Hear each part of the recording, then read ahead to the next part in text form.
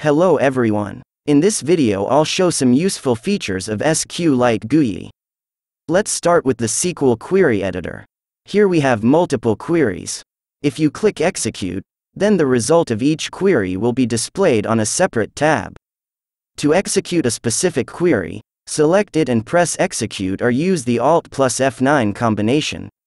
If the query contains functions, then Control plus space shows a help for the function and for its arguments.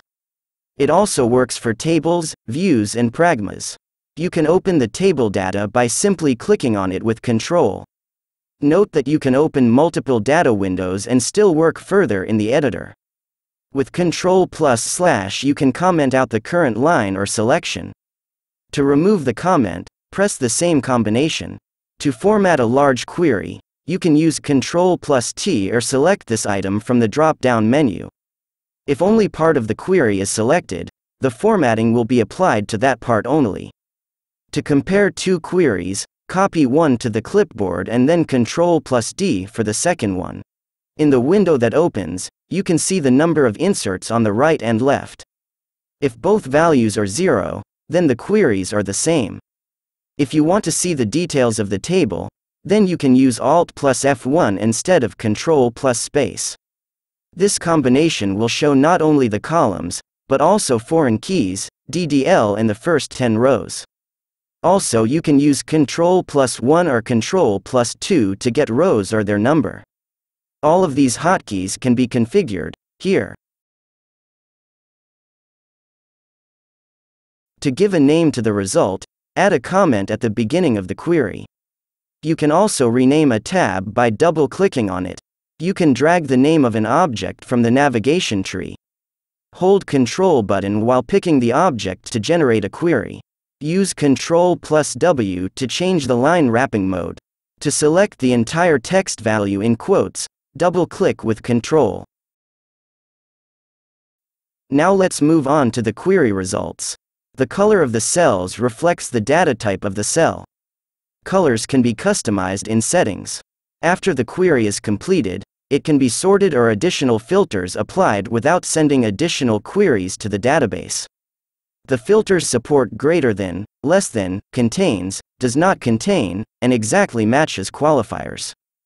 Use filter by value to select rows with a specific value. The query result can be displayed as a chart. The chart can be one of predefined type. The results also can be saved as a table for further processing or exported to Excel. You can also transpose the result set. If foreign keys are set in the database, then you can view the associated data simply by clicking on the cell with the Alt key pressed. Double-clicking while holding Alt will drill down. You can go down a level if there is in another linked value. To return, press backspace or the back button on the mouse. You can customize what data should be displayed when clicking on a cell, even if there are no foreign keys. To do this, open the Preferences database and edit the refs table. More details can be found in the wiki. If two query results contain the same number of columns, then they can be compared. If you want to keep the results of queries for some time, you can use the terminal mode. You can also view and change additional application settings in the terminal. Let's move on to data editing. To edit the value, you can simply start typing or press space. Press F2 to add text at the end. If the desired value is already in the column, then press Ctrl space to find it.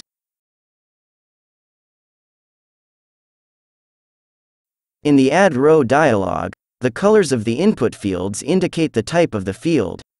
If the table has a non-composite primary key, you can duplicate existing rows. The navigation tree. Unlike other programs, each node has a specialized menu where you can add or remove objects.